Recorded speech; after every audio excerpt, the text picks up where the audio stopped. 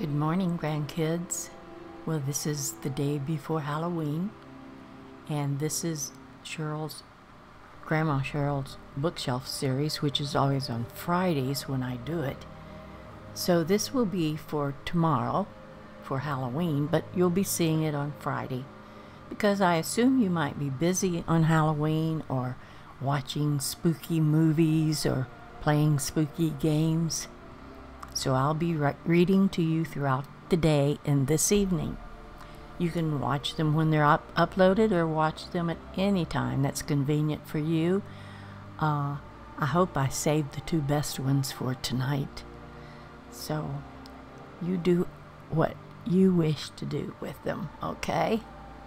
Let's start with the doors of the Spirit.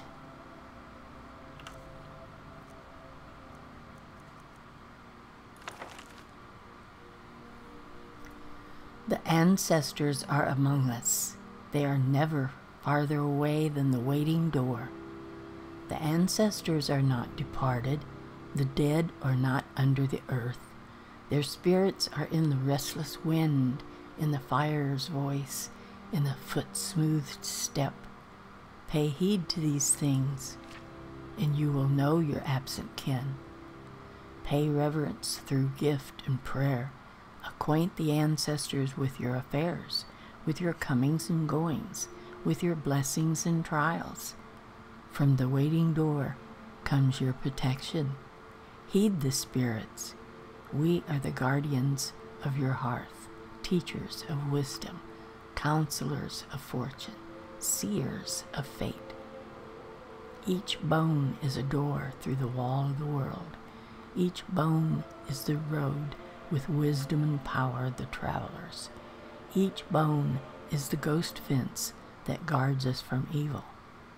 Honor the ancestors upon your hearths, within your halls, in the community of your temples, in the solitude of your tombs.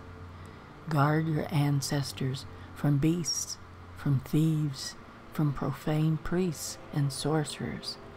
Let no creature steal your spirits for the plundered hearth is dis- diminished, and the plundered tomb is shamed. Live in one world with your spirits. Honor the spirits within and without you.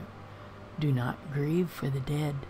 Take shelter in their arms and pay heed to their words. Later on today, grandkids, I will read you another book. The next one we will be reading is The Axe Man. Bye bye, grandkids.